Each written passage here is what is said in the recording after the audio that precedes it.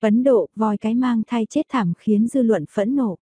Còn vòi đáng thương đã ăn phải một quả dứa nhồi đầy chất nổ, khiến hàm của nó bị vỡ, dẫn đến cái chết trong đau đớn vì đói và vết thương quá nặng.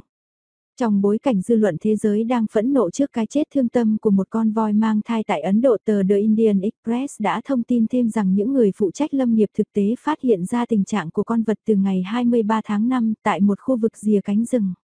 Con voi đáng thương đã ăn phải một quả dứa nhồi đầy chất nổ, khiến hàm của nó bị vỡ, dẫn đến cái chết trong đau đớn vì đói và vết thương quá nặng. Cho đến nay, vị trí chính xác nơi con vật gặp thương tích cũng như kẻ phải chịu trách nhiệm cho vụ việc này vẫn chưa được xác định. Trước đó, vào ngày 23 tháng 5, những cán bộ lâm nghiệp đã nhận được thông tin về một con voi bị thương trong khu vực. Khi tới nơi, người ta đã nhìn thấy con vật với cái miệng bị thương. Sau đó con voi đã đi vào trong rừng. Sau đó, đến ngày 25 tháng 5 con voi được nhìn thấy đang ngâm mình trong một con sông, dường như để làm dịu vết thương. Một bác sĩ thu y đã kiểm tra và cho biết con voi có thể đã bị thương từ trước đó nhiều ngày, vết thương đã trở nên hết sức nghiêm trọng khó có thể chữa khỏi.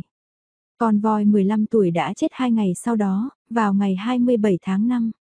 Cuộc khám nghiệm tử thi cho thấy con voi đang mang thai, khiến cái chết của nó càng trở nên bi thảm. Một cuộc tranh luận đã nổ ra ngay sau khi Mohana Krishnan, một thành viên của đội cứu hộ, đăng tải về vụ việc lên Facebook. Krishnan không tin có ai đó cố ý cho con voi ăn một quả dứa chứa chất nổ. Anh này tin rằng người ta có thể dùng chất nổ để đuổi động vật hoang dã và vô tình gây hậu quả. Rất có khả năng con voi đã ăn phải một quả dứa chứa thuốc nổ mà người ta dùng để bẫy lợn rừng. Một nhân viên lâm nghiệp khác cho biết voi có thể đi bộ tới 100 km một ngày, nên rất khó có thể xác định được địa điểm mà nó bị thương. Sự việc đã gây phẫn nộ trong cộng đồng dân địa phương. Nhà chức trách đã cho điều tra vụ việc và những người yêu động vật mong muốn kẻ có trách nhiệm sẽ phải đối mặt với án phạt xứng đáng.